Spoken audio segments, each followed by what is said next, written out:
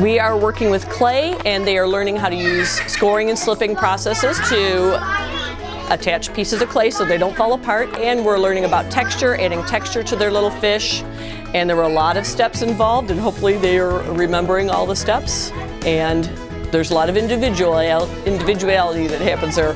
So even though we're all making a fish, they're all going to be a little different. They love clay. One little girl just said, this is the best day of my life. And I like to introduce them to all kinds of things at the elementary level, such as shading and perspective, things that are kind of complex, but we break it down, do it at a very simple level at that age, and hopefully by the time they're in high school, they've got a basic understanding and ready to go. Little kids love art. They like coming here and making things and they get to experience a lot of different materials and they're happy about that. But generally they get in here and find out, hey, we're just doing the best we can and we're going to learn along the way and hopefully have some fun. And welcome back to Art with Brody. It's simple to make a fish.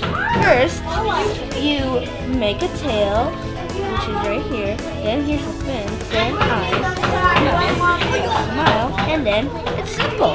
And to learn more about art, go to my website at brody.com.